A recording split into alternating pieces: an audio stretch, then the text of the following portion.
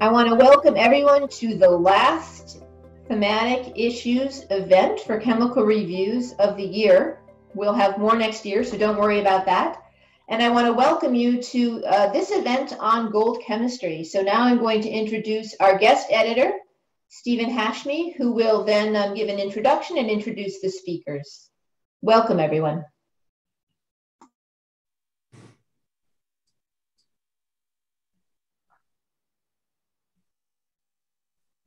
So I start now? No. Yes, you can go ahead, Stephen. Thank you. I can go again. So to all the audience, to all the speakers, to all the staff of Chemical Reviews, a warm welcome for this, depending on where you are, morning, afternoon, or night session. I'm very happy that you could join us on this thematic talk series on the special issue on gold chemistry. It's a very exciting field. And you see, we have come a long way if you look at the beginnings where people were studying like stoichiometric coordination compounds, very early results like Nesmeyanov's aurophilic interaction, Schmidbaur, who joined in and did a lot of chemistry, inorganic chemistry. He was one of the great people in the field. Jonathan Fackler from the US or Antonio Laguna from Spain have all done major contributions in their time. And if you look at the development after a lot of inorganic and then organometallic chemistry, many, many applications of gold, metallic gold as material followed, which of course are not in this special issue on gold chemistry. And at the end, fields like catalysis, first heterogeneous catalysis, subsequently homogeneous catalysis, also came in. And all of this together made the former totally inert gold become reactive, chemical, alive for us in that field. And after a lot of single reviews scattered out in the literature, something here on that topic, something there on another topic, we finally had the chance to assemble this special issue for chemical reviews. If you look at the field as a whole, it was a difficult decision which topics for the individual reviews to choose and which authors. And the idea was to take things which have not been covered like half a dozen times already in the last years and things where we can say it's opening new aspects and, and it needs to be in chemical reviews.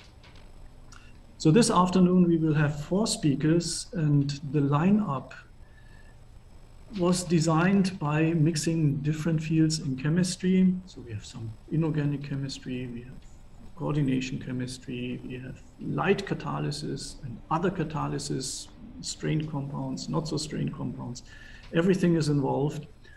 And we also try to switch to the different areas. So the first speaker, she will be from Europe. Second speaker will be from the UK, which is not Europe anymore at the moment. And then we will have a speaker from China, and then we will go south in the Pacific Ocean and have a speaker from Australia. So with these words, I now want to hand over to Professor Gimeno. For me, it's Concha. Concha, welcome. Thank you for joining. She worked for some years in Zaragoza in Spain together with Antonio Laguna, now has become totally independent. Antonio is retired for many years. And she is a true expert in the field of inorganic and organometallic gold chemistry. And that being said, I hand over to Concha. Please go ahead with your presentation. Thank you so much. So thank you, Stephen.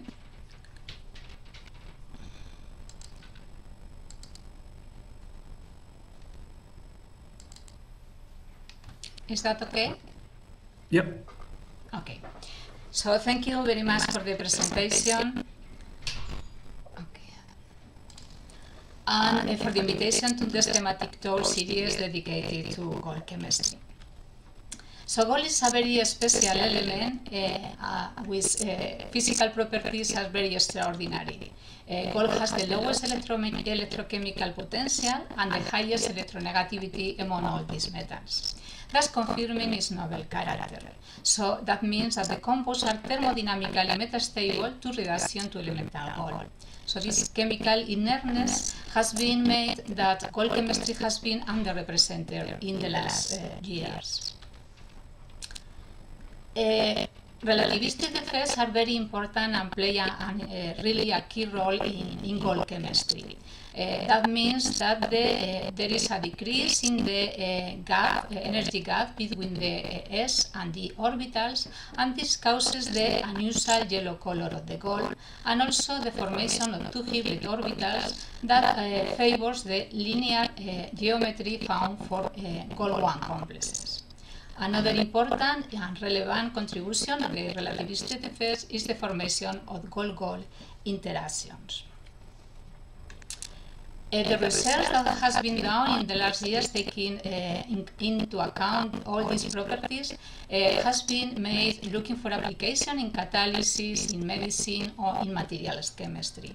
And consequently, gold compounds with excellent bioactivity or with optical properties have been reported in the last years. In catalysis, milestone has been the uh, discovery of the excellent catalytic activity of supported gold nanoparticles or small gold clusters, and also the excellent carbophilicity uh, showed by gold uh, complexes. Uh, to this, uh, to facilitate this research in gold chemistry, the design on special ligands has been very important. Uh, these uh, are strong donor ligands, mainly carbon donor ligands, uh, phosphine ligands, or means phosphorus carbon or carbon carbon or carbon nitrogen uh, ligands. They are also, uh, also excellent, uh, have also excellent electronic and steric properties, which are easily modulated just changing the substituents in, in the ligands, and all of this has contributed to the synthesis of elusive gold complexes. So this uh, review covers the main developments in gold coordination chemistry, uh, emphasizing the most uh, relevant type of complexes in the last 10 years. And here we are going to see some of the, these examples. So the first one are the gold fluorides. So the gold fluoride bond is very reactive and uh, it can be used, for example, stronger ligands to stabilize uh, the gold complexes. In the last years, some of them have been prepared and they have found to be important in catalysis. So the first example was prepared by Sadighi and co-workers using N-heterocyclic carbenes by reaction with hydrogen fluoride. Since then, other gold-2 and gold-3 species have been developed. For gold 3, it's necessary to uh, use xenon dichloride as oxidant. And uh, all the other examples have been prepared uh, always using N-heterocyclic carbenes, cyclometalated ligands, and also trifluoromethyl derivatives. Gold hydrides has also been elusive complexes because the high uh, potential, uh, redox potential of gold, reduction of the uh, metal center has taken place because the hydride ligand. The first samples were prepared, prepared by Xu and Sadighi, also using N-heterocyclic carbenes and and co-workers prepared the first examples of gold, gold free hydrides with cyclometalated ligands. This ligand provides high, uh, uh, a high stability to the final complex, preventing reductive elimination pathways. Other gold-3 uh, hydride derivatives have been prepared also with cyclometalated ligands. The synthesis of uh, stable singlet carbenes has been very important in organometallic chemistry. Uh, the complexes found application in all the chemical sciences. And uh, uh the most important are uh, N-heterocyclic carbenes and cyclic alkyl aminocarbenes. Uh, the latter has a stronger nucleophilic character and then providing very strong complexes. There are several methods to prepare this type of complexes, and uh, some of them they are outlined uh, here. And uh, for example, they are the use of free carbene and transmetallation reactions using silver salt or copper salts, and uh, gold is isocyanide and more recently more uh, mm, other methods have been developed more straightforward methodologies using wheat bases as potassium carbonate or acetylacetonate in very mild conditions. To number uh, some application of these uh, those carbenes here we can see the work development by Knopfler and co-workers prepare uh, symptoms uh, uh, which are these mononuclear hydroxy and dinuclear hydroxy species, which are important as precursors for organometallic complexes and also they are excellent uh, silver-free catalysts in many organic transformations. Also, these three coordinated gold complexes have been prepared and are very interesting because the luminescent properties. They are prepared starting for the gold uh, NHC precursors by reaction with bidentate rigid diphosphines and uh, the final derivatives present excellent quantitative, almost quantitative uh, quantum yields. The emission of the complexes can be fine-tuned by modification of the substituents in the NHC ligand. Gold also is very appropriate to prepare supramolecular structures as uh, those uh, collected here because the linearity of the gold complexes allow to uh, find different assemblies as for example these in triangles and rectangles and cylinders gold, uh, with gold uh, uh, with heterocyclic carbenes. Also, the use of conjugated system uh, functionalized with an heterocyclic carbene provide different supramolecular assemblies of different dimensions. These complexes are also very interesting for, catalysis and also because uh, their optical properties. Bertrand and co-workers made an important contribution to uh, the development of, of nanometallic chemistry, uh, just uh, synthesizing this gold zero complex. It was uh, synthesized uh, starting from the bis carbene by reduction with potassium. The paramagnetic gold complex uh, has an ampere electron who is local, delocalized in the p orbital of the ligand of the carbene and the gold if the re, uh, reduction has uh, taken place with lithium, uh, the first gold species was achieved. Bochmann and co-workers also developed this series of gold complexes with cyclic alkene aminocarbenes. We have um, ten, um, we present that thermally activated delay fluorescence. Uh, in this case, the presence of a robust donor uh, ligand that can be uh, a good p acceptor and a carbazole or similar derivatives that are good electron donors are very important for the properties. These are very suitable to develop OLED devices. Cationic gold carbene complexes are also very interesting and have been invoked as uh, uh, intermediates in many catalytic reactions. Uh, there is some controversial about the uh, structure and nature of the bonding in these carbenes, and then it can be from a gold carbene, singlet gold carbene, and a, a gold carbocation, and with different degrees of sigma and p bonding. But usually the bond order is 1.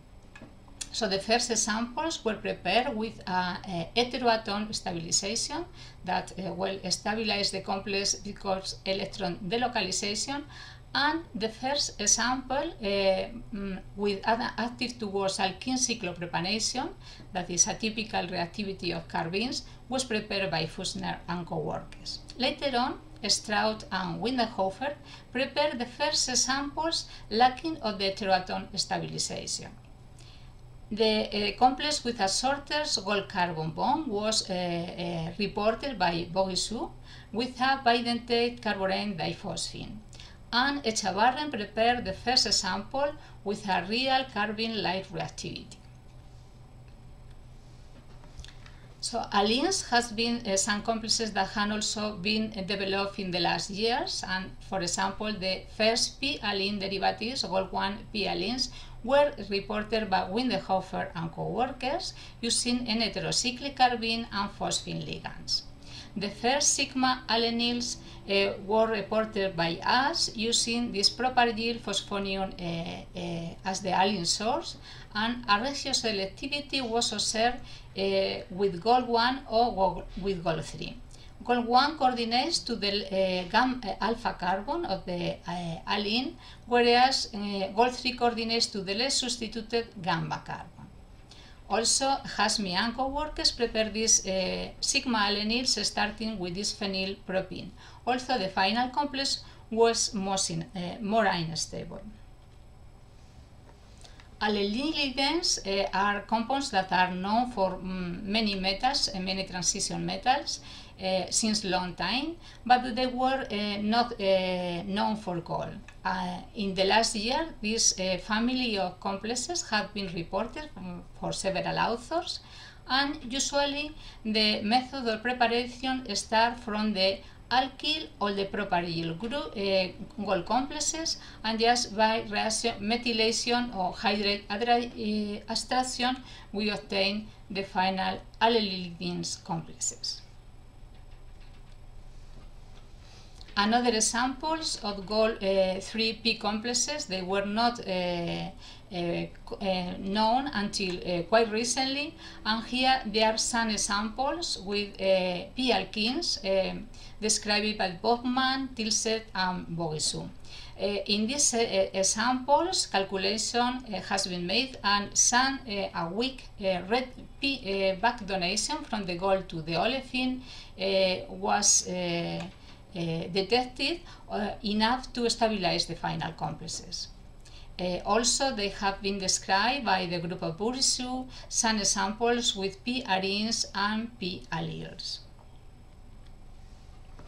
A hot topic nowadays in, in gold chemistry is the gold redox uh, chemistry. So this pass from oxidative addition to gold 1 is not a, a, an easy task because the high redox potential that present the metal and also because the change in the coordination number uh, with the oxidation.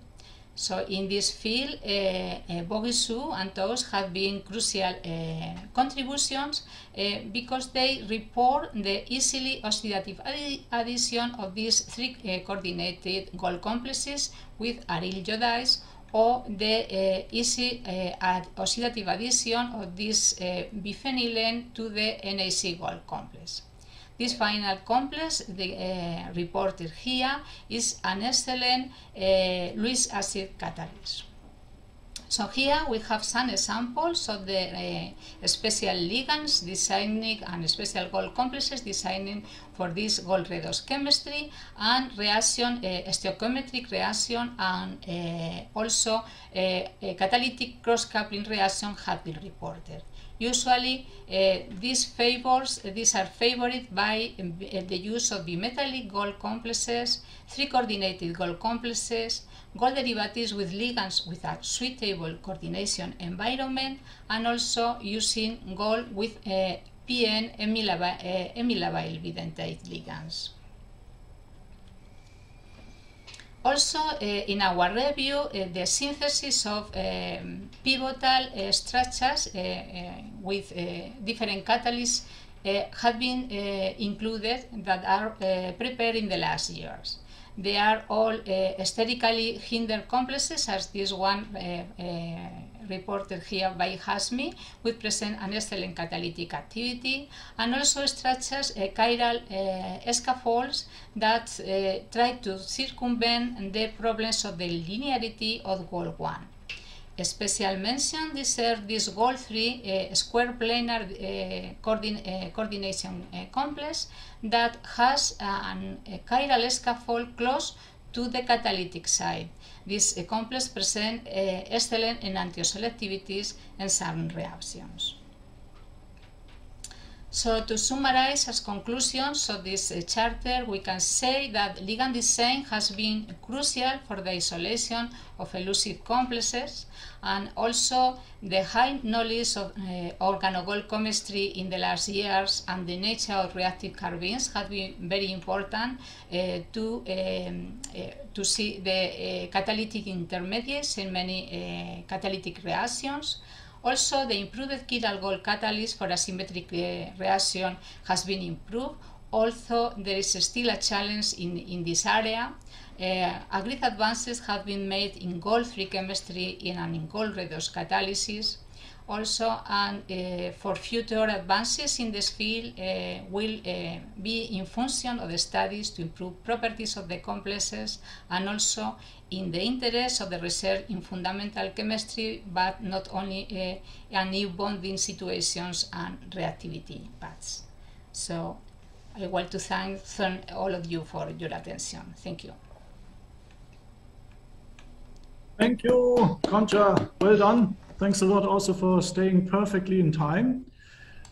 Now it's time, of course, to answer some questions when we need some questions. So to the audience, we have left of the on the screen, left of the chat box, we have another box which is for questions and answers. So if you have any questions, you should probably type it in there and I click and I don't see any questions yet, but this gives me the chance to answer an initiating question.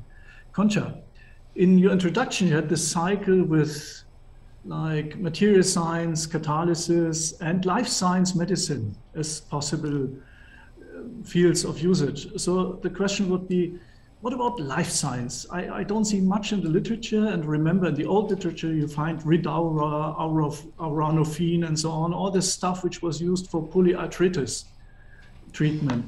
Yeah. And now people are talking about cancer, but is there something exciting going on?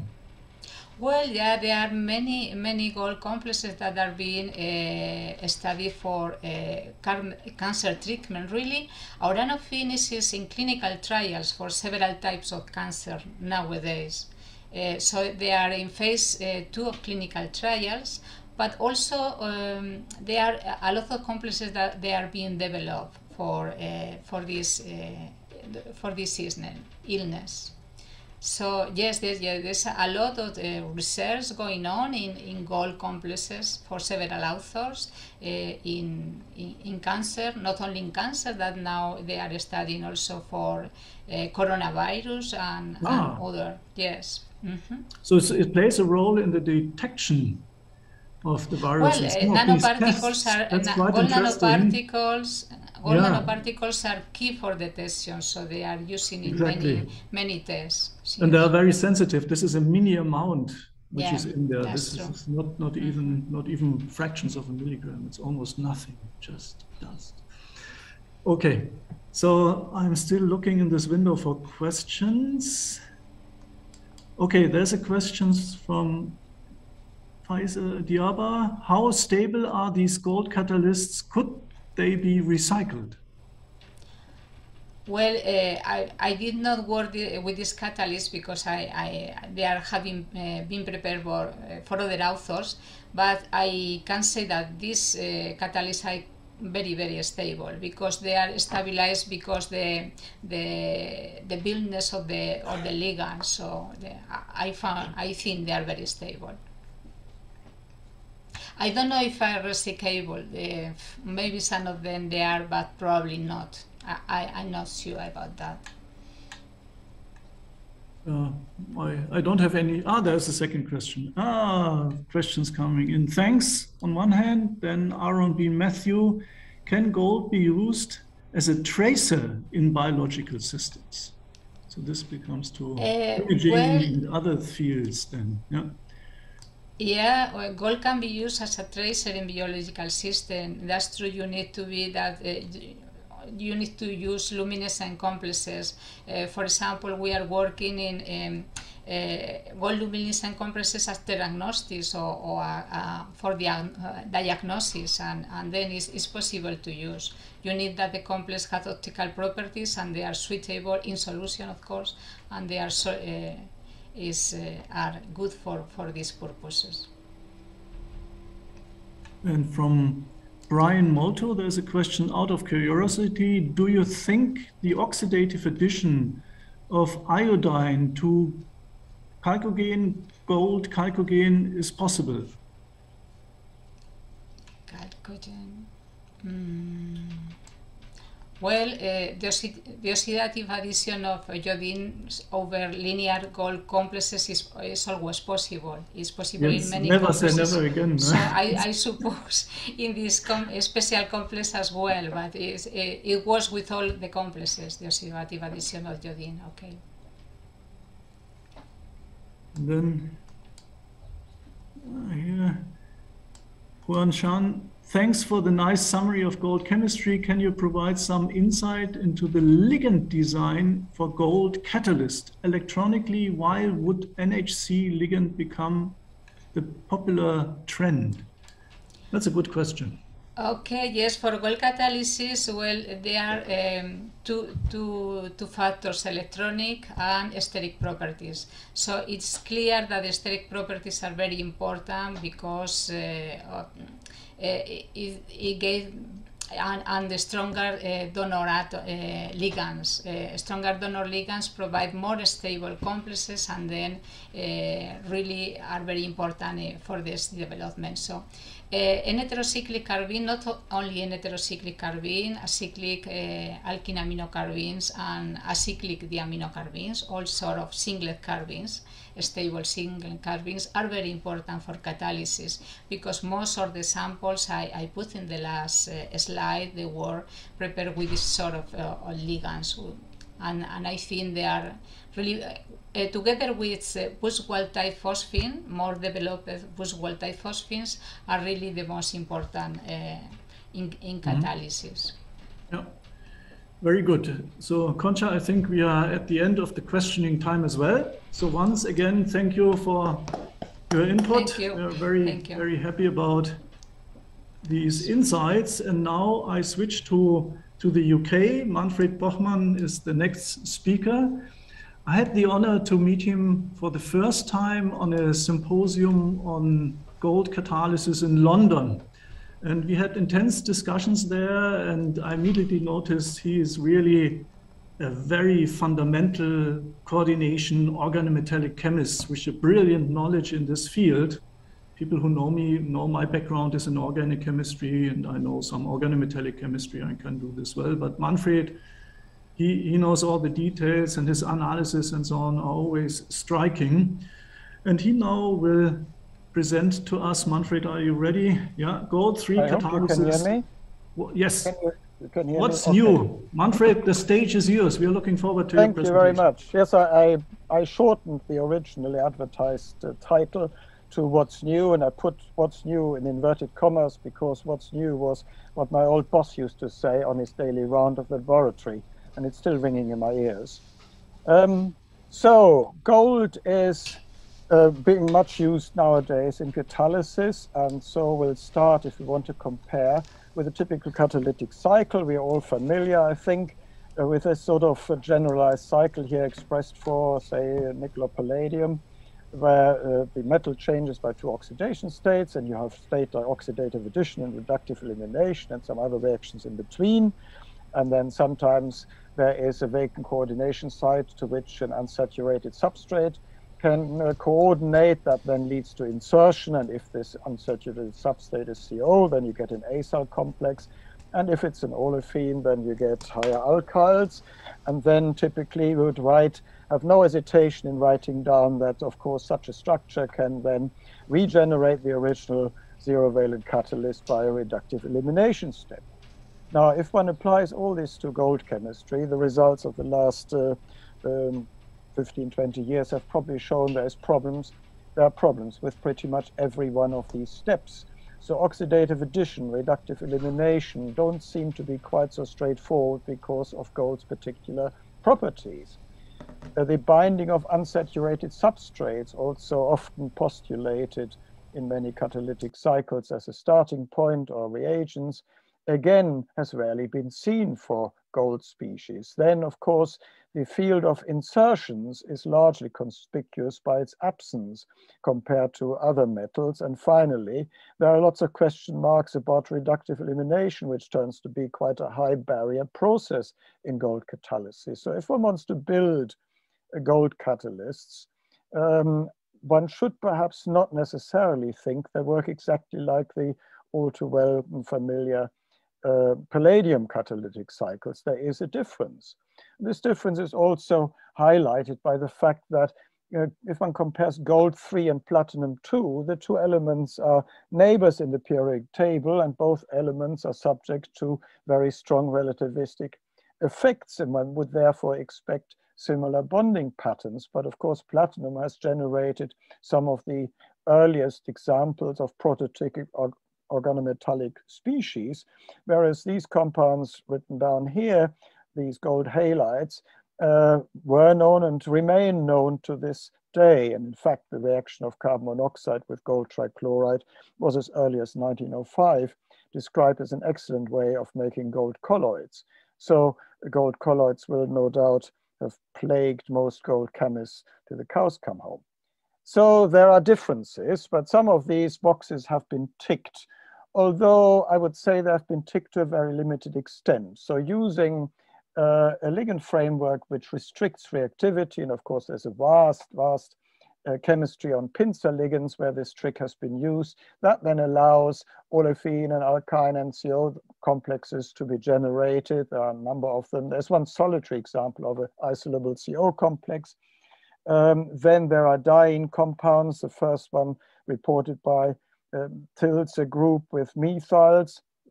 And we subsequently found that if one replaces these methyls with something that is a wee bit more electron withdrawing, these rather thermally unstable complex become quite useful starting material. So this is quite a nice, stable, easily made compounds. But that does not mean having ticked these initial boxes and shown that these things can actually exist doesn't mean that one knows an awful lot about how these species are bonded in catalysis because none of these species, as we see here, on these slides have a pronounced catalytic chemistry.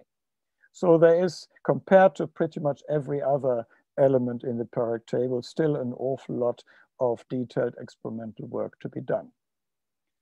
If one wants to summarize gold 3 and its reactivity, what sticks most out as the most prominent characteristic is that it's a strong Lewis acid and that it reacts as a Lewis acid there is much lower back bonding even than for platinum 2, which is not exactly prominent in the back bonding scale.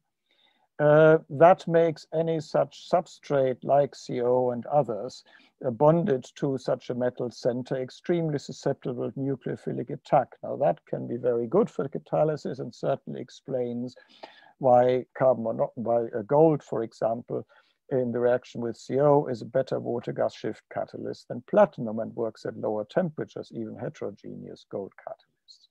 One can also find that the alkyne adducts show pronounced vinyl cation character, and that again explains their very high reactivity. Then, as Conchita has already pointed out, other species have been found which are also uh, important in many catalytic cycles, gold hydrides, and most recently gold allyls. And the fact that allyl compounds of a transition metal uh, reported only as recently as 2020 by the Bourissou and the Tilset group uh, gives uh, provides an example of how much there really is to do in terms of fundamental understanding. It also is a very nice example how extremely dependent structure, bonding, and reactivity in gold compounds is on the supporting ligand. This uh, Bourissou ligand, this uh, phosphino seems to turn gold in as near as damaged palladium in its term, in the way it binds and reacts. So this gives a nice delocalized allyl, whereas the CN compound, as Tilset could show, certainly is not a delocalized pi allyl, it's a highly fluxional system.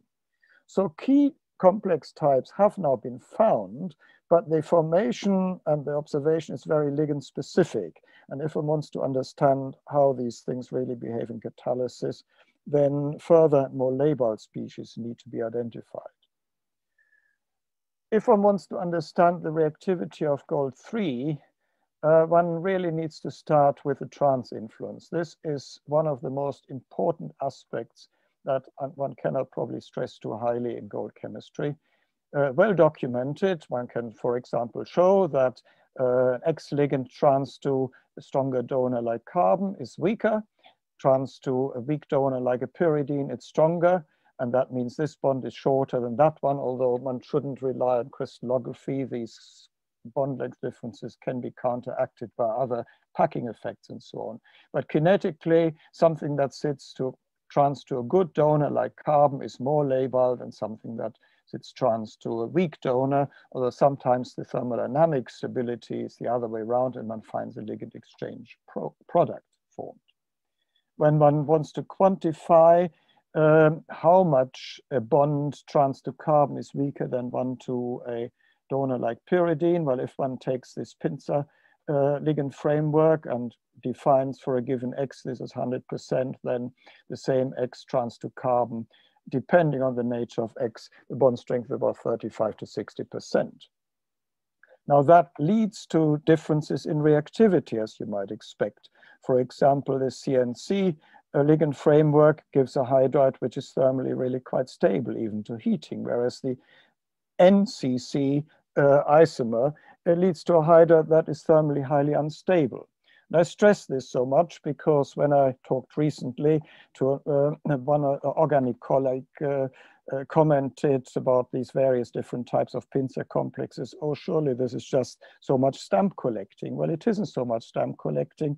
One really influences the reactivity of these compounds in very fundamental ways. Uh, that can also be shown if one looks at ligand effects and uses hydride as a probe to evaluate them. So these are calculations on this hypothetical molecule and one can change the ligand then from within the spectrochemical series from typical weak field to strong field ligands. And you can find that the hydride chemical shift varies by something like 20 ppm. Uh, but one does rather more than just change the hydride NMR chemical shift. One also changes on going from a weak field to a strong field ligand. One changes the nature of the uh, frontier orbital in these gold complexes. Weak field ligands uh, the frontier orbital has very much gold d pi character, and that in turn then uh, changes the reactivity. Uh, these compounds tend to be stable to insertion by oxygen, whereas um, if one goes to strong field ligands, then the frontier orbital becomes sigma gold hydrogen in uh, nature, and these compounds tend to react and insert with oxygen. So there is a chemical consequences of changing ligand fields and ligand field strength that is of fundamental importance in catalytic applications. The strong Lewis acidity, well, um, I have to apologize first and foremost in what I say from now onwards in the uh, absolutely unforgivable subjectivity of the various examples that I've selected, but one can fi only find so much time in 15 minutes. The uh, Lewis acidity is, for example, justified, um, uh, demonstrated, I meant to say, uh, by this frustrated Lewis pair type behavior of gold ether complexes. Even ligands as weakly basic as ether uh, seem to be capable of exerting sort of FLP type reactivity and induce the heterolytic uh, cleavage of hydrogen under very smooth conditions, even at low temperature. And not just hydrogen can be cleaved by such Lewis acid, but even carbon-hydrogen bonds. This time it requires a higher temperature. One cannot observe these intermediates, but what one sees at the end are products that are typical of, gold, of aryl hydrogen reductive elimination from an intermediate called hydride species. So FLP type reactivity as a consequence of Lewis acidity. What else can one look at in um, that is catalytically relevant? Well, the next important step is oxidative addition and the fact that uh, the simple oxidative addition of an aryl iodide to gold 1 warranted a JACS communication as late as 2014 shows the relatively undeveloped uh, state of the field. We now know that oxidative addition is facilitated if the gold can be forced into a geometry, the gold one precursor can be forced into a geometry that deviates from linearity. So bent systems react more readily than linear systems. There's also a nice complementarity between gold and palladium. In palladium, it is important that the aryl uh, iodide or aryl halide, whatever is oxidatively adding, should be electron poor because electron acceptor properties stabilize the product. In gold, it's the other way around. Electron-rich arenes uh, react more readily. That is simply because here the formation of a gold arene pi complex is very important. And this was, uh, as Conchita has already indicated, uh, demonstrated by both the Bourissou and the Toste groups, where who showed that oxidative addition even of carbon-carbon bonds can be exploited to generate gold-3 compounds. This here is an example of an acyl, early example of a gold acyl, a sort of structure that cannot be made by CO insertion into the gold carbon bond because that would be energetically uphill. Now oxidative additions often do not uh, react in, as quickly and smoothly in one step as often is envisaged. Um, it goes via radicals. The reaction between diazonium salts uh, with gold one has been intensely investigated and rather recently the Porcel group showed that ascorbic acid can be used as a one electron reductant. This generates a radical, aryl radical, which gives gold two under non-photolytic conditions. And finally, one ends up with the well-stabilized and well-characterized gold three end products. The existence of radicals under photolytic conditions is, of course, rather less surprising. And I've just mentioned here the now classical work by the Glorius Group, um, who showed that with a photoinitiator, uh, the, uh, the uh, oxidation proceeds from gold 1 to gold 2 to gold 3 and finally leads to the desired coupling product. And there has been an awful lot of work done on the photolytic uh, activation of such reactions. But not all CC coupling reactions really require full-scale oxidative addition. So one needs to be very careful in assigning uh, reaction cycles. And this has been exemplified by this nice work quite recently by the group of Fensterbank in Paris, uh, who used this gold vinyl, gold one vinyl compound, reacted it with this iodo acetylene, and this seems to be all set up for clean oxidative addition uh, to give a gold acetylene iodide complex. Uh, but I've written here as a reminder the standard potential uh, which is very high and very positive, although of course these potentials, we don't work in one molar acid, so these potentials in a way are highly modified under our reaction conditions with different ligands. But nevertheless, it's uphill, it's an uphill struggle to oxidize gold one to gold three.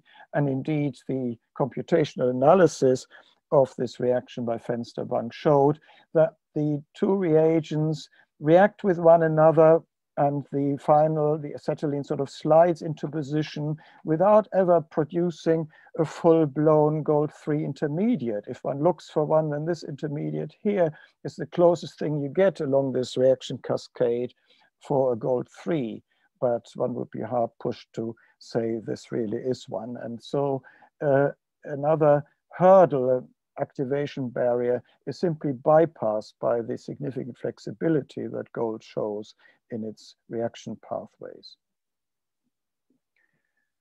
Oxidative addition is followed by reductive elimination. And I've listed here the calculated reductive elimination barriers for this very open, flexible system calculated by Datta some years ago.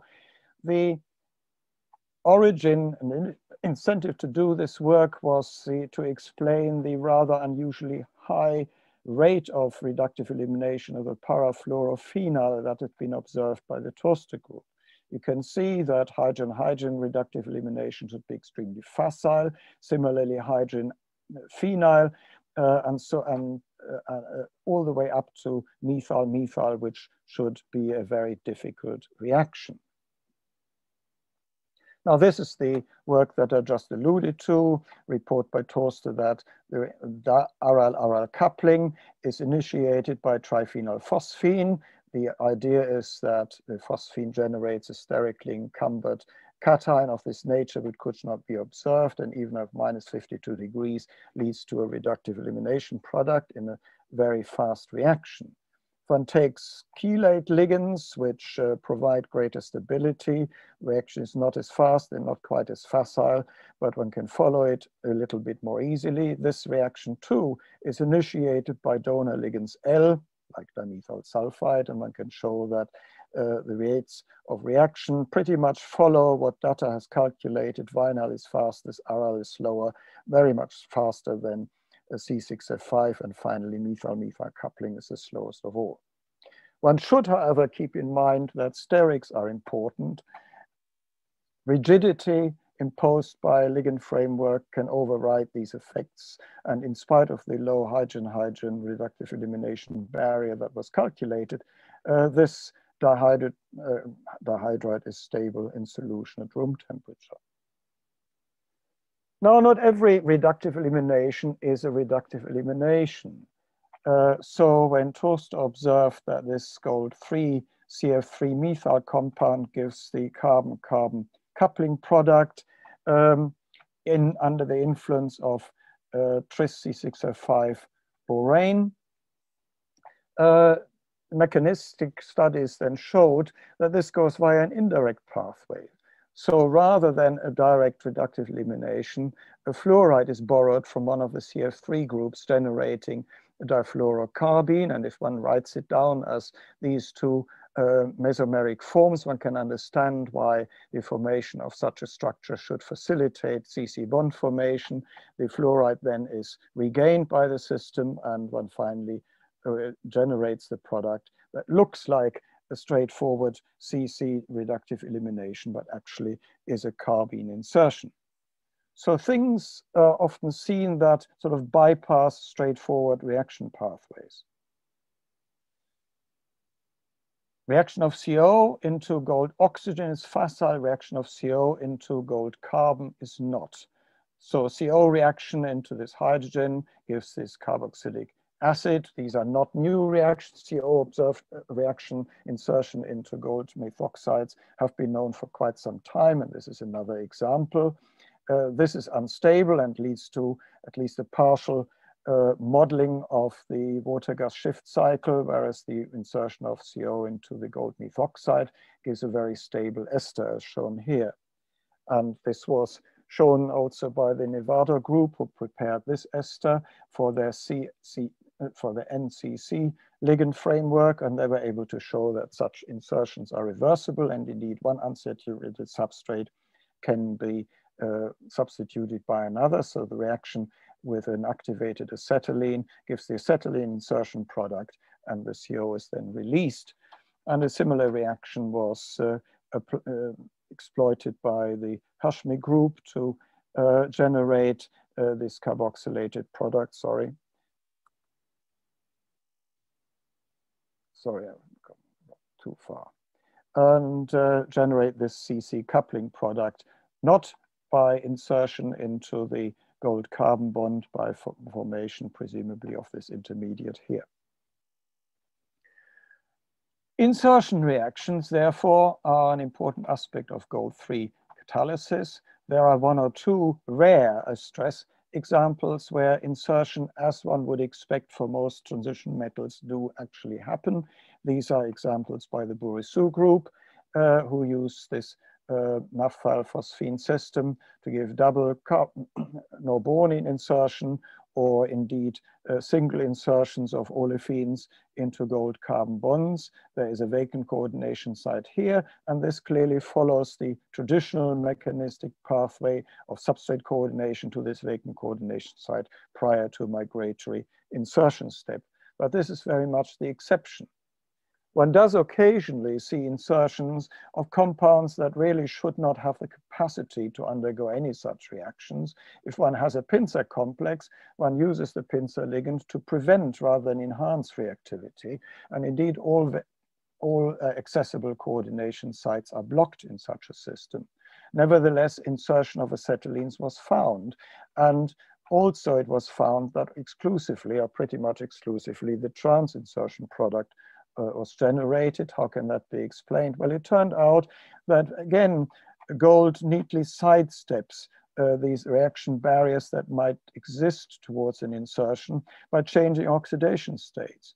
So formation of radicals generates a gold-2 radical, which then can react in this fashion via bimolecular mechanism to very smoothly generate these acetylene, uh, these, these gold vinyl derivatives. And I should stress that although these reactions are fast if one actually generates a radical initiator, uh, even ambient light is sufficient to generate gold radicals. So one needs to keep that in mind when one does gold chemistry. Uh, these compounds are very often more sensitive to light than one gives them credit for. The termination step in many gold reactions is beta elimination. And again, I go back to a report by the Bourissou group where beta elimination in the normally understood way has been observed. The, the propenes are clearly ethylene insertion into the gold methyl. The butenes are uh, double ethylene insertion into gold hydride following a beta elimination step. And indeed, there is a chain walking sequence that would explain the formation of these uh, compounds. So clearly gold here behaves very much like one would ex palladium expect. That beta elimination is not prominent may, however, uh, be highlighted by the fact that the first organometallic gold compound, this was a gold ethyl, uh, prepared at the beginning of the 20th century, and that clearly was uh, stable towards reductive elimination. Not every uh, beta elimination, not every beta elimination outcome is actually mechanistically a beta elimination. Uh, it has been found repeatedly that for most gold compounds, beta elimination is associated with a high activation barrier and simply does not easily take place. However, it turns out that such gold species as simplified depicted here uh, can, on treatment with ligands, ring open such that now one has available here a basic pyridine donor. This pyridine donor can act to deprotonate such a cationic intermediate and generate a product which looks all the world like an olefin uh, followed from beta H elimination, whereas in fact this was a reductive deprotonation. So the N is protonated and the olefin is extruded. And this type of reaction uh, may be more common than perhaps one gives it credit for. Uh, for example, in this reaction here of an aryl diazonium salt with a functionalized olefin to give the corresponding arylated olefin uh, was originally explained by oxidation of the gold 1 catalyst precursor to gold 3, that is fine, and coordination of the olefin to this gold 3 species, in, followed by insertion, followed by beta H elimination, then it is thought that this gold hydride was deprotonated by base to, to regenerate the gold 1 species. Now it seems more feasible and probably easier to understand that if, if one assumes that base attack on this hydrogen leads to deprotonation, generating this olefin, and at the same time generates the original gold 1 species without having to encompass the hurdle of making a gold hydride uh, by a beta H elimination step. So there are possibilities that gold uh, escapes into low energy pathways in a way that other transition metals do not. So if one wanted to conclude what we've seen is that yes, many representative of key intermediate species often postulated in catalytic cycles are now known one can also show that gold catalysts follow palladium catalytic cycles on occasions, but only partially. And it very much depends on the ligand system that supports the gold system. The relative stability of intermediates like alkene, alkyne, and CO uh, adducts of gold 3 are very different from that of transition metal catalysts as we know them in most cases. So gold-3 acts as a strong Lewis acid with very weak back donation and certainly very strong activation of unsaturated substrates towards uh, nucleophilic addition, nucleophilic attack. Uh, I've mentioned that the trans influence is probably more important than almost any other metal. It dictates the kinetics and electronics of many of the gold-3 uh, catalyzed or mediated reactions. Uh, reaction pathways can be strongly ligand specific and alternative reaction pathways are increasingly important. So we find more and more that uh, open shell pathways rather than closed shell pathways uh, may be very relevant in gold chemistry. Gold 2 and radical intermediates uh, probably take part, um, even those induced by moderate laboratory light. There are alternatives to beta H elimination. There are slip-in pathways which avoid clearly defined intermediates. And one sort of looks at gold uh, almost as the diplomat of the periodic table that offers solutions to difficult reactions, even where conventional uh, reaction pathways may be associated with insurmountable hurdles. So with that, uh, I thank you for your attention. I have to thank in particular my co-author and co former co-worker, Dr. Luca Rocchigiani, who is now an assistant professor at this old University of Perugia, and all the various uh, different organizations who supported over our work over the years. And thank you for your attention. Manfred, thank you so much. Very fundamental insights you could show us. Since we are over time, I can allow maybe one question. So if someone has an urgent question, then please, please type it into the question and answer box. I briefly wait whether something is, is coming in. Manfred, the radicals, so gold 2 species, radicals and things like that, apart from catalysis, how common have they been in the past in stoichiometric organogold chemistry? Well, the the uh, olefin insertion uh, was was stoichiometric, wasn't it? Mm-hmm. So um, that that those are.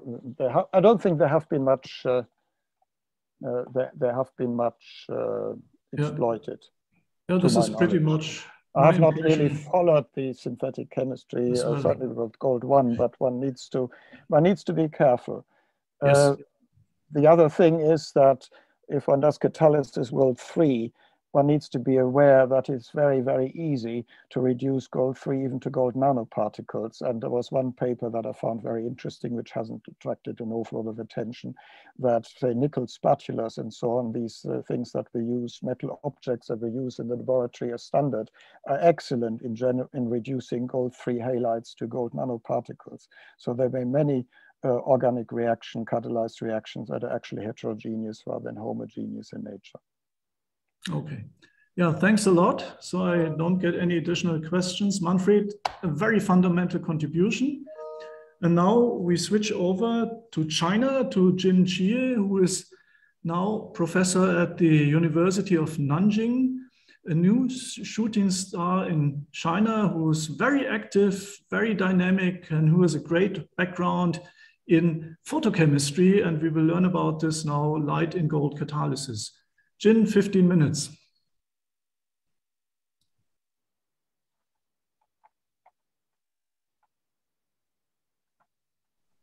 Okay, thank you very much for your introduction. Hello, good morning. At Cheddar, it's a midnight now. So also good uh, midnight to all the friends. Okay, I'm Jin Xie from Nanjing University. First, thanks Professor Hashmi and Professor Hammes-Schiffer very much to give me this chance to attend the chemical reviews or uh, so atomic talk series on gold chemistry and introduce this topic light in gold catalysis. Yeah, our this uh, chemical chemical review paper was yeah the first author is Zila. Yeah, she is a highly talented girl now working in the in the basketball.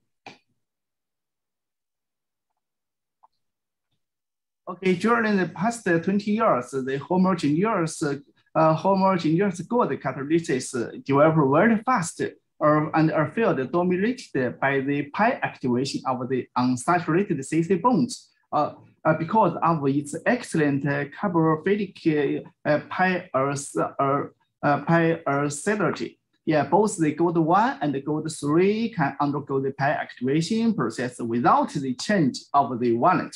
Due, yeah, due to the high redox potential of the gold, gold 1 to gold 3 is as high as 1.4 wallet, much higher than the palladium.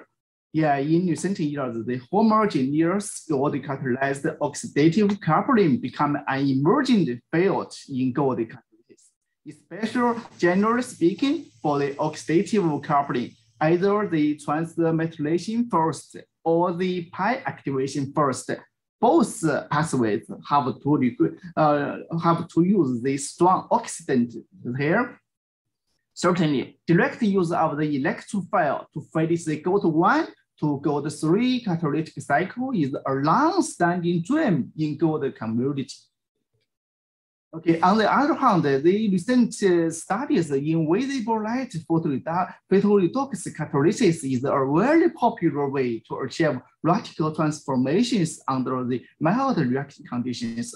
The classic Leucinyl, Leucinyl and the iridium complexes were employed. Of course, some organic dyes can be used to drive the reaction with this low activation way, the two electron reactions is the potential to proceed in single electron transfer process through either the oxidative quench or reductive quench.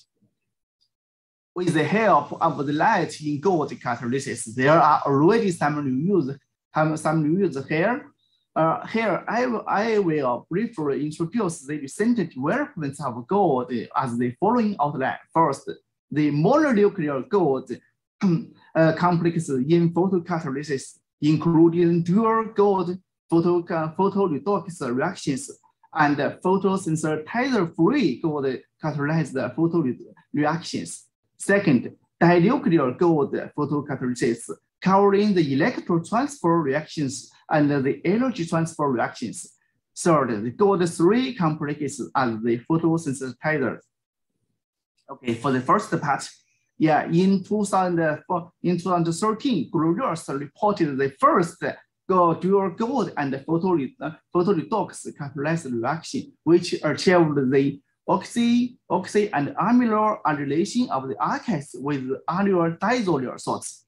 Uh, very soon, Toste, Toste yeah, reported the gold catalyzed arylative ring extension reactions by means of the uh, by means of the visible light photocatalysis. Now, now both the gold catalyst and the photosensitizers are important for the yield. Yeah, now both parallel work in this field have been cited uh, over the 300 times. Now let's have a look for the proposed mechanism it's exciting to find that the gold three specials here, yeah, is uh, can be formed by two single electron transfer step. First, the ideal radical, yeah, which can be formed from the photocatalysis, and and can act, can add to the gold one specials to form gold two intermediate, which can undergo another SET process with the Leucinyl three to form this gold three specials, uh, which can undergo undergoes the reduction elimination to give the products. Okay, once the generation of the gold three specials is ready, there are a dozen of intermolecular and intermolecular nuclear addition reactions can be predicted and many elegant examples are, were reported. With the gold three specials, it is also a very good choice for the developer of the cross couplings. Toste and Glorius reported the dual gold and photocatalytic strategy for the uh, carbon phosphor and carbon carbon bond coupling. Later, yeah, Fouquet and Lee have independently realized the CC coupling of the aryl acid with the aryl diol uh, aryl salts. Of note, also have a very good paper from the SIRS lab. Yeah, you using the ligand without the use of light. Later, yeah, party successfully employ, employed aryl trimethyl silanes as the coupling partners to finish the biaryl, biaryl coupling here. Yeah, another interesting research is the combination of the gold catalyzed the nuclear addition and the gold catalyzed cross coupling together. For example, Domino and Ye have uh, reported elegant double annulation protocols with the nuclear addition process here.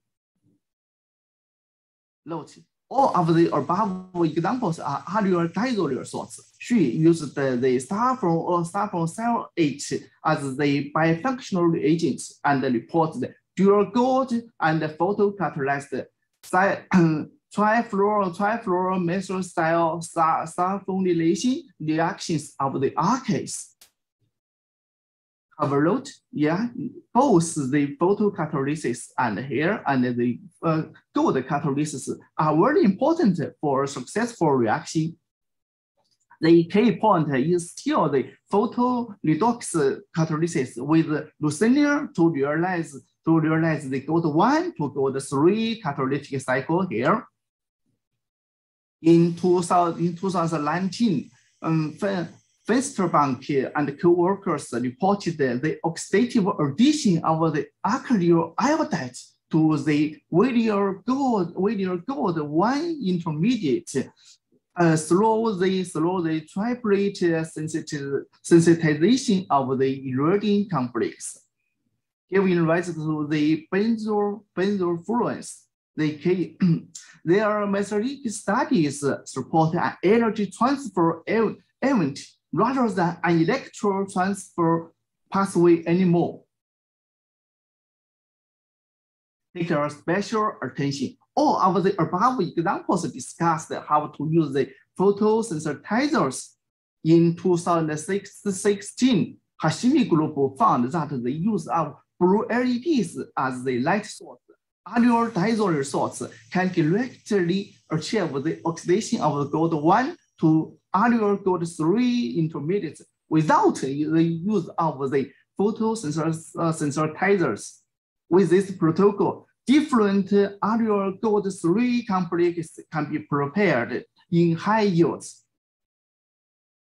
Later, we applied this gold, the aryl gold 3 intermediate in selective coupling reactions. Very importantly, the reaction of the aryl diazonium salts and the aryl silanes can readily, can readily occur with yeah, over the borates. Later, uh, Schoenebeck and co-workers further applied this chemistry for the selective coupling of the aryl germanium with over the borates, borates, borates, silanes, and the halogens, exhibiting uh, excellent functional group tolerance. Of course, Toster and the co-workers reported an elegant route for the synthesis of the gold-3 specials of um, from the gold-1 with trifluoromethyl iodides by means of the light irradiation. Okay, then we have some minutes to discuss the process of the dinuclear gold photocatalysis about 30 years ago, Shi and, and, the Fackler have prepared this kind of the dinuclear gold complex and studied their photochemical and photophysical properties. So reported that it can catalyze dimerization of the benzoyl chloride and alky and alky bromides in the presence of the amines is elevated with the low yield. Compare, compared with the classical photocatalyst like the Leucinia and the iridium, yeah, the dimeric gold catalyst also has the good reducing ability, but it is it is very easy to prepare from the DMS gold chloride in quantitative yield. That's very important because this uh, can't be prepared in one single step. However, this is a typical black swan events in organic synthesis, as no one considered this for a long time. Yeah, about 20 years later, in, two, in 2013, Barriault and co-workers did a very good job, and they reported an elegant photoredox transformations with the dimeric gold complexes. They use of the dimeric gold catalyst as the electron trans transfer mediator and for the successful generation of the, a series of radicals from corresponding organic formats. Accordingly, accordingly, many new reactions have been reported with this chemistry. Also, we have made use of the dimeric gold catalyst to achieve CH difluoroalkylation of the hydrogen and the CH activation, CH activation of the amine, the tertiary amines for the alkylation.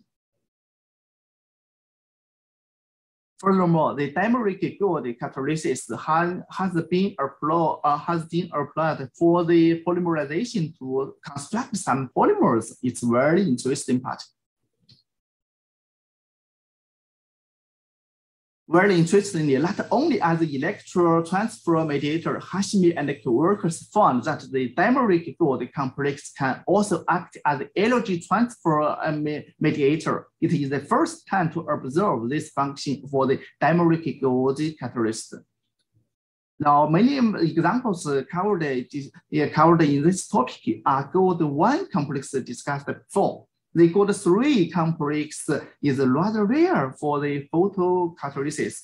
In 2012, Shi and co-workers reported that prepared NHC, NHC, NHC gold three complex and applied it in the in the aerobic oxidation of the amines by means of the light. Later, through the, com the composition of this uh, luminescent gold, gold uh, NHC gold 3 uh, complex with the morph materials, the heterogeneous photosensitizers can be prepared. Okay, we have witnessed rapid development of gold, uh, gold catalyzed organic transformations with light uh, for the past 10 years.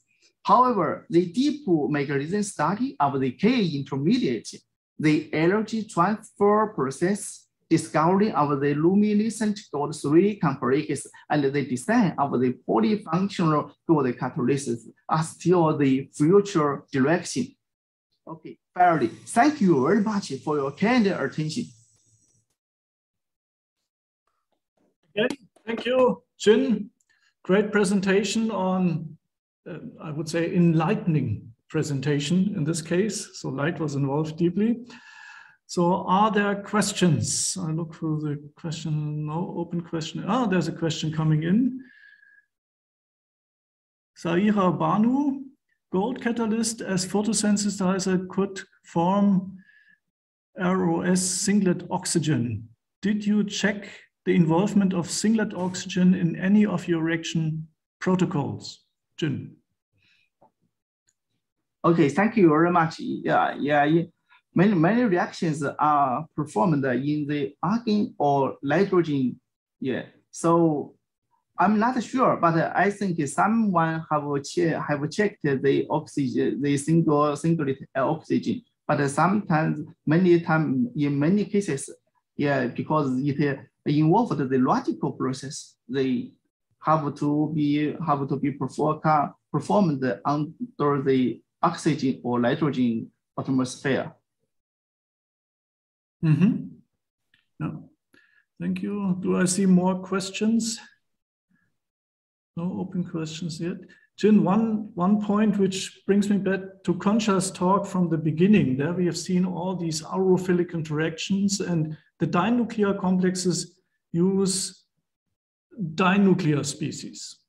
So what about some of these trinuclear complexes or other associates using aurophilic interactions. Has any photochemistry in the sense of catalysis been observed with these?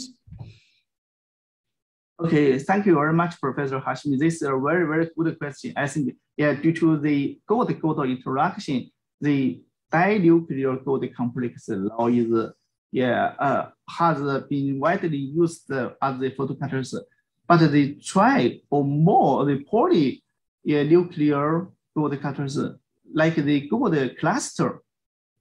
Yeah, I think in the in the heterogeneous catalyst, someone use the the gold cluster for the for the uh, for some uh, you know, organic transformations. I think it's possible. Now in our lab, we have yeah we are doing this. Thank you. Yeah, thanks a lot. I don't see any additional questions, and since we are running a little bit late, my tendency would be to continue now with the next talk. Before that, let me mention that you, of course, can ask questions to the previous speakers in the chat. You can still ask questions there. And of course, you can even, after the whole mini conference here is ended, uh, you can send an email and ask them a question if you suddenly have a question. So now we jump over the Pacific Ocean to the south from China and we arrive in Australia. And Chris, Chris Hyland, Chris, are you there? Yeah, I can see he uploads his talk. I'm here. I'm here. Hello. Hello. And I think I have the correct presentation. Yes. No, no worries. No worries. Everything is fine. So Chris is a professor at Wollongong, a very active center, a little south from Sydney, a beautiful train ride through the jungle to get there in about an hour and a half. And they do great science. And Chris will now tell us something about the gold catalyzed conversion of highly strained compounds. Chris, please go ahead. Thank you very much, uh, Stephen, for the, the kind introduction. And uh, I'd just like to acknowledge my the co-authors. Um, so this was jointly written with Professor Min Shi uh, and his co-workers Dayao Li and Wenqing Zhang from the uh, Shanghai Institute of Organic Chemistry and a PhD student, Melissa Bird from from my group. So uh, a team effort. As Stephen mentioned, I, I, did I did put a little uh, map here of Wollongong. It's uh, just south of Sydney, and there that's what it looks like. That's what it will look like in about four hours when it's uh, morning here. Okay, so I'm going to talk about a series of strained organic molecules. And of course, we can't cover everything. So I'm going to cover a few select ones, focusing on the carbocyclic system shown in blue here. Uh, and the, the, the, strain energies are, are, are given below these. Why, why do we want to study the reactivity of these molecules in the presence of gold catalysts? Well, one, we can unleash that strain energy to design very facile reactions. In addition, these highly strained molecules can be sources of cyclopropanes because cyclopropane itself is much less strained than the methylene cyclopropane, the vinylidene cyclopropane, and the, the cyclopropene. Uh, in addition, the presence of the pi system, as nicely shown by the previous speakers, is a, is a perfect binding site for the carbophilic gold Lewis acid. In addition, we can also have tethers on these systems with other pi binding sites, and then these uh, these carbocycles can behave as nucleophiles. I'll also touch on the, the heterocyclic systems as well very, very briefly. Okay, moving on, I'm just going to talk about each class. First, I'm going to look at the methylene cyclopropane. So these are the least strained of the carbocyclic systems.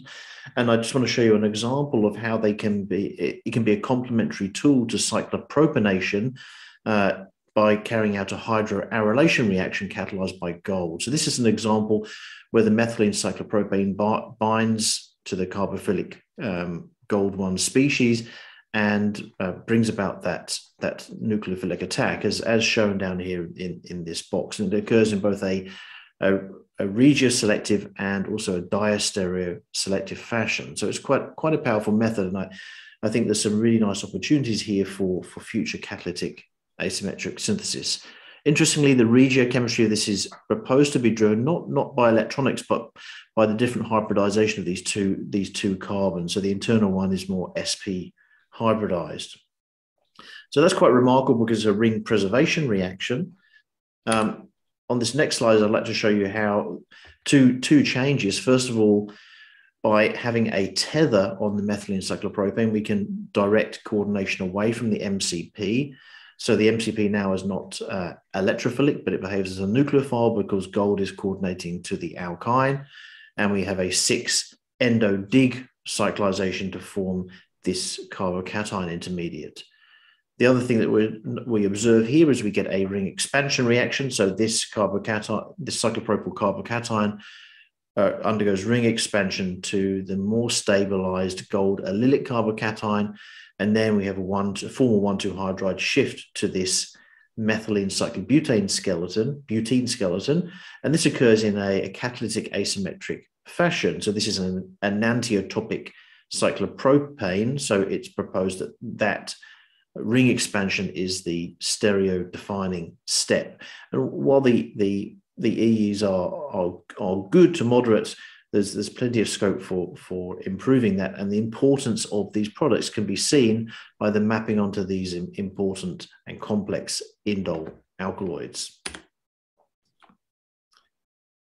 So I'm just having a little, uh, my computer's been very slow. Bear with me for a second. It's decided to not move forwards.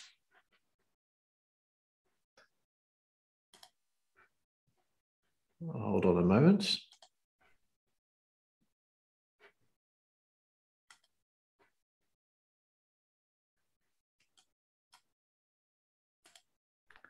Apologies for this. I'll just uh, let this sort itself out.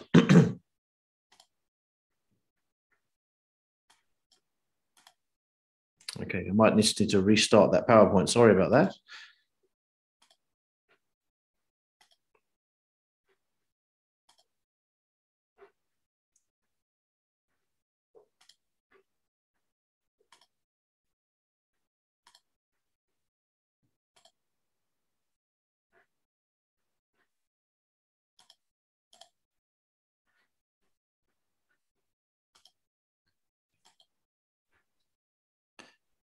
Okay, so we're we're, we're back in business.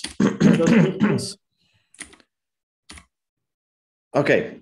Good. So what I just wanted to show you here was that the we don't uh, we can harness this carbocation in in in other ways, and so if you have a, a pendant nucleophile such as an alcohol here, again work from the uh, the group Min Shi has shown that you can form quite large eight-membered rings by harnessing that carbocation. So we can see that these methylene cyclopropanes can be both electrophilic and nucleophilic and involve both ring expansion reactions and also ring preservation reactions.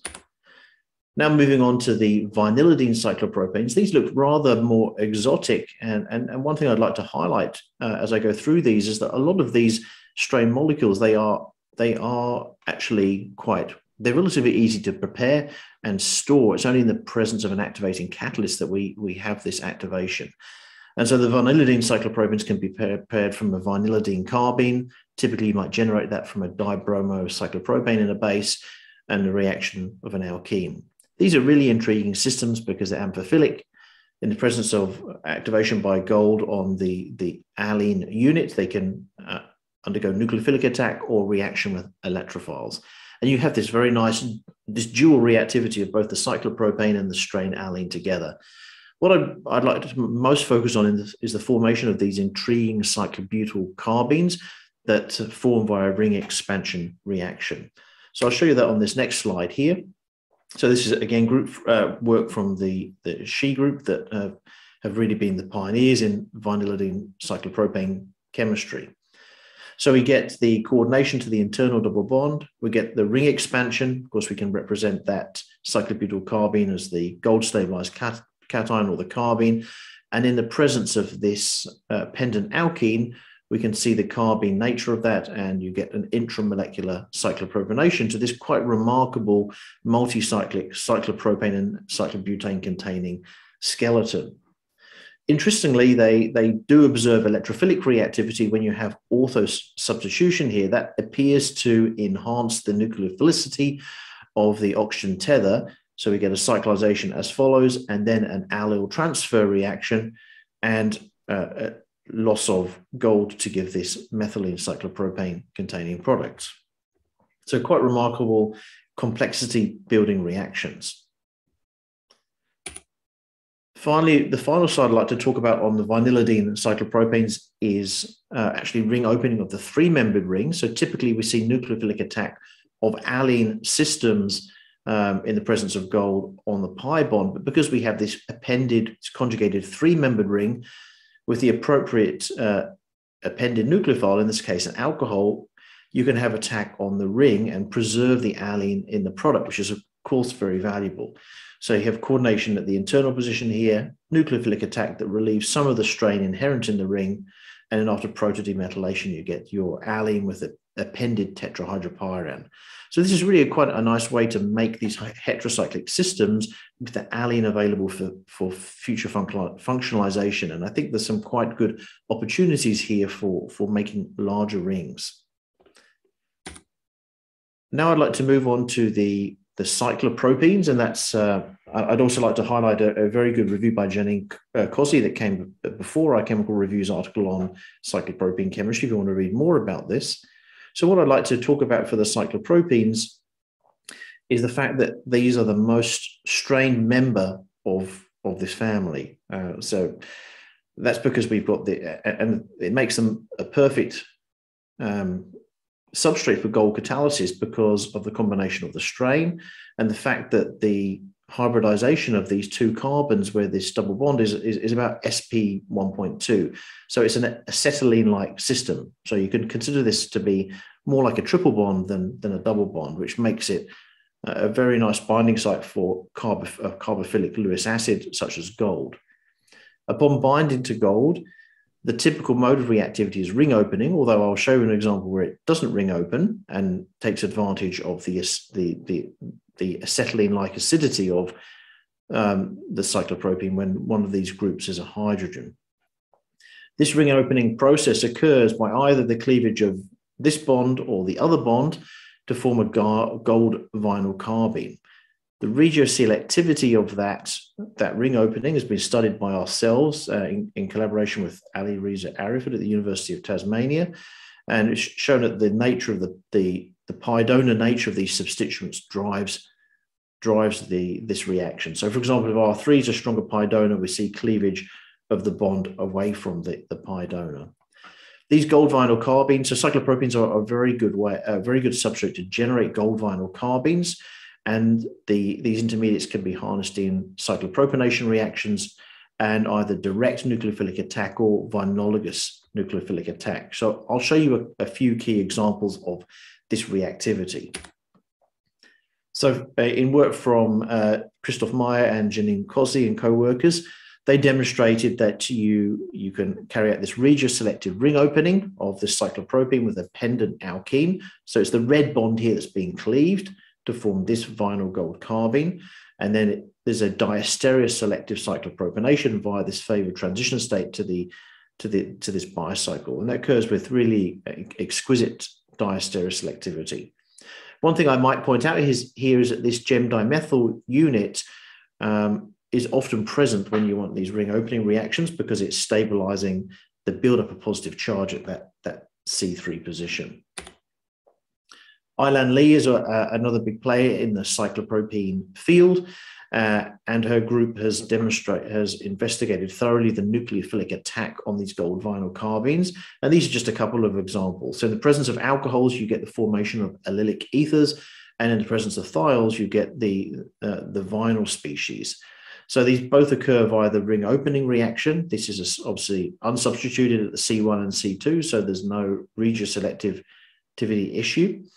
The thiol attacks directly uh, directly adjacent to the gold, and, and this is proposed to be uh, a result of it being a soft nucleophile, whereas the alcohol attacks in a vinylogous fashion to form, form the allylic ether.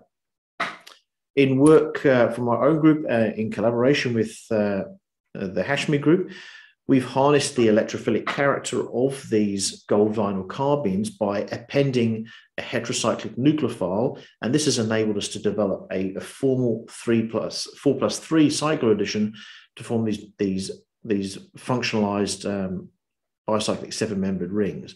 So what happens is that the furan behaves as a nucleophile attacking in a vinylogous fashion. That then, and the fact that we generate an oxonium ion now means that we can have we can intramolecularly trap the vinyl gold species to close up and, and form this seven membered ring. And that occurs with uh, complete diastereoselectivity, and this bicycle maps onto several important naturally occurring compounds.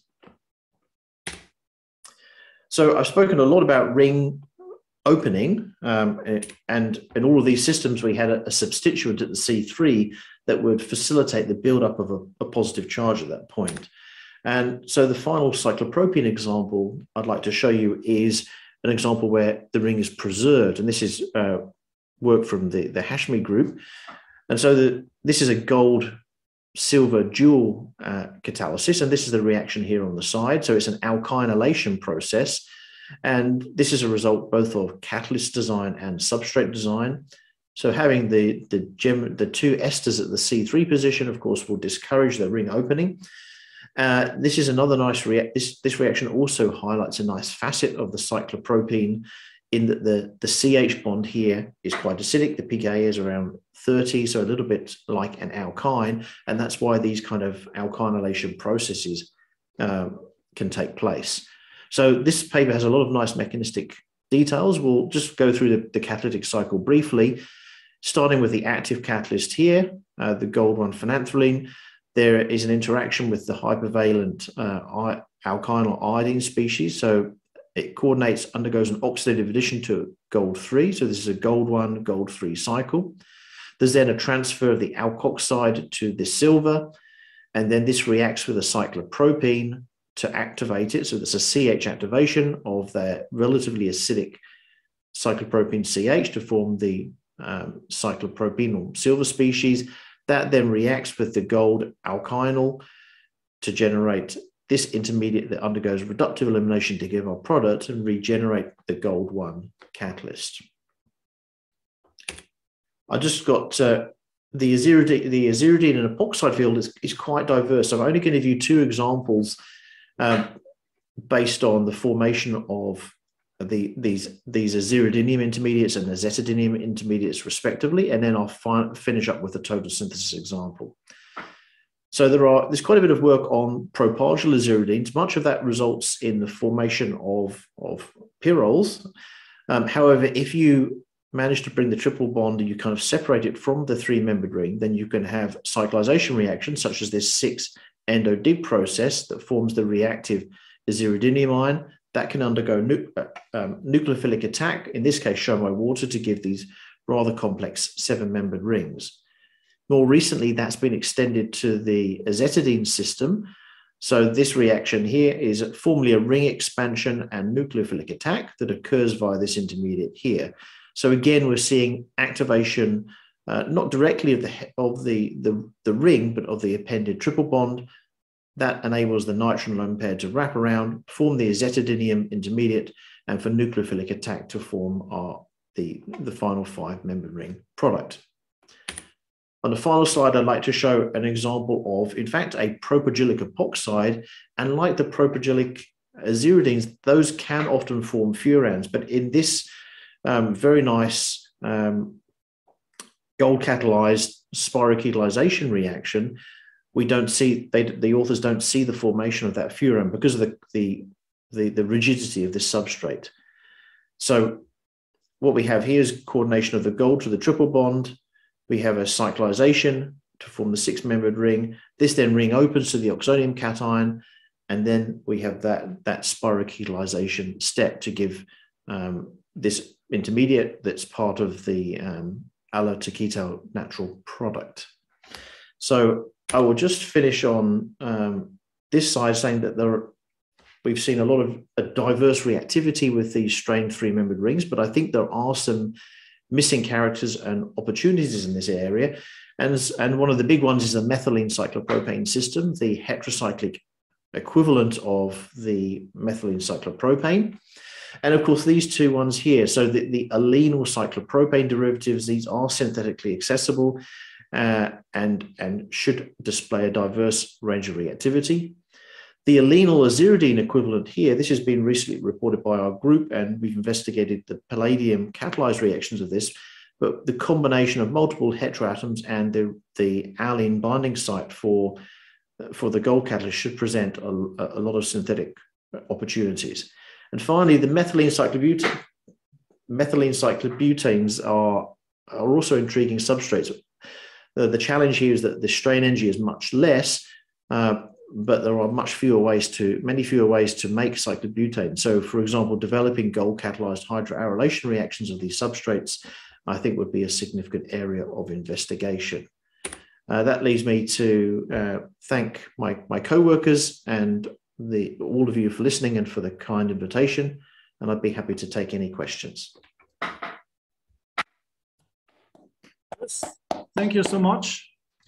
Great insights into the ring strain as a very important thermodynamic and also reaction accelerating factor.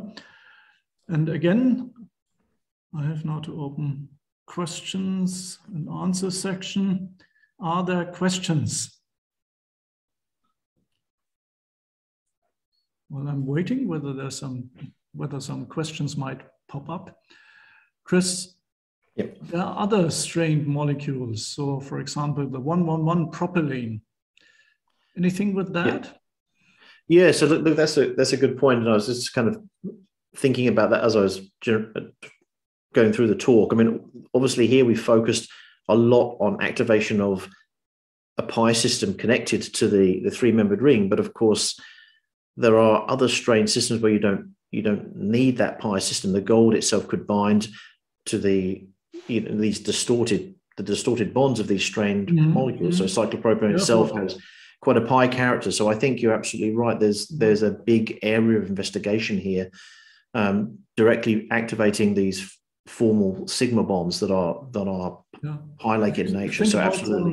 Um, platinum insertions, which can actually go into the CC bonds of cyclopropanes. Mm. I was always afraid that in gold catalysis this might happen as well, but the cyclopropanations, as far as I see the literature, don't proceed with any subsequent ring opening of the cyclopropanes formed by gold catalyst being consumed later on. So, yeah, that's quite yeah. different. Yeah. That's quite right. It's, I mean, it's intriguing that first hydroarylation example. You, you you don't you don't see any further activation or ring opening. So.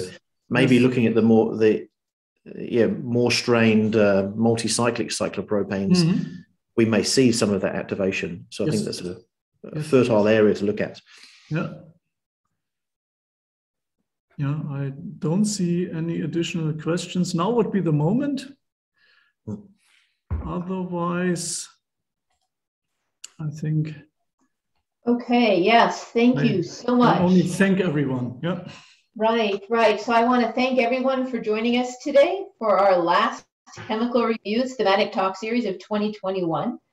And I want to thank our editor, Guy Bertrand, and also our guest editor, Stephen Hashmi, who you've been hearing from today, for their hard work on this thematic issue. They put together a terrific issue, and it's uh, their hard work, and of course, all of the authors of this thematic issue as well.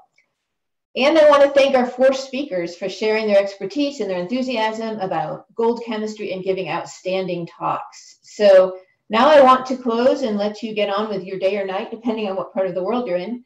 And I want to wish everyone a happy end of the year and a prosperous new year. And I hope to see all of you in 2022 for other topics that we'll be covering in our Chemical Reviews thematic talk series. So please keep keep an eye on our website, and we'll be um, posting information about those early in 2022. So for now, thanks to everyone. And again, thank you to the speakers and to Stephen for, uh, for leading this great event and to all of you who are listening.